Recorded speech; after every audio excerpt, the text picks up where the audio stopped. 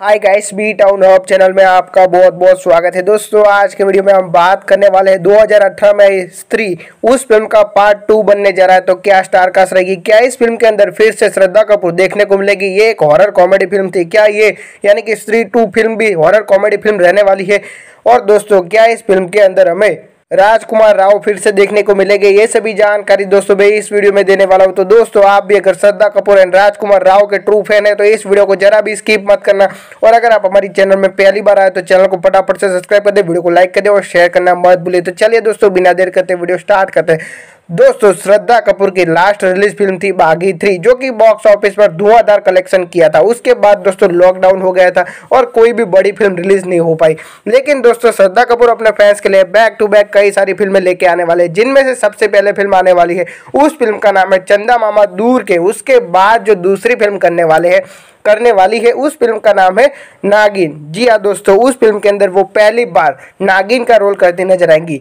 लेकिन दोस्तों, आज की वीडियो में हम बात करने वाले हैं उस फ़िल्म का नाम है स्त्री टू, जो, जी हाँ दोस्तों, स्त्री फ़िल्म 2018 में आई थी। ये एक हिंदी लैंग्वेज की हॉरर कॉमेडी फ़िल्म थी, जिस फ़िल्म को डायरेक्शन दिया था अमर कौशिक ने, और इस फ़िल्म की स्टोरी लिखी थी राज निनंदू मुने और दोस्तों, इस फ़िल्म को प्रोड्यूस किया था दिनेश विजन ने। और दोस्तों स्टार कास्ट की बात करें तो इस फ़िल्म के अंदर हमें लीड रोल में हमें श्रद्धा कपूर, गायत्री का रोल करते नज़र आई थी। वही दोस्तों, राजकुमार राव ने विक्की, यानी कि लेडीज़ टेलर का रोल किया था, जो कि फैंस को बहुत ही पसंद आया था। और दोस्तों, इस फ़िल्म के अंदर हमें पंकज त्रिपाठी कॉमेडी करते नज़र आए थे।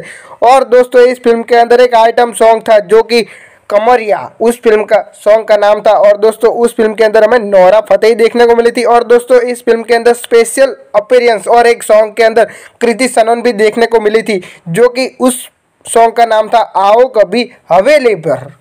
अब दोस्तों मेकर्स इस फ़िल्म का पार्ट टू बनाने जा रहे हैं, यानी कि स्त्री टू और इस फ़िल्म के अंदर फिर से श्रद्धा कपूर एक हॉरर यानी कि चुड़ैल का रोल करते नज़र आएँगी। वहीं दोस्तों, राजकुमार राव लेडीज़ टेलर के रोल में फिर से देखने को मिलेंगे।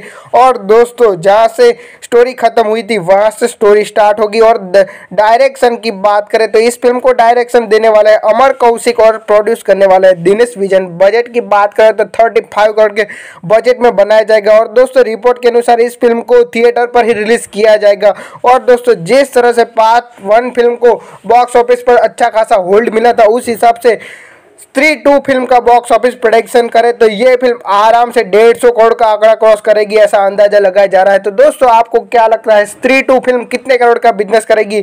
और क्या आप इस फ़िल्म के लिए एक्साइटेड है या नहीं? हमें कमेंट बॉक्स में लिख के ज़रूर बताना। वीडियो पसंद आए तो हमारे चैनल बी टाउन आपको सब्सक्राइब कर दे।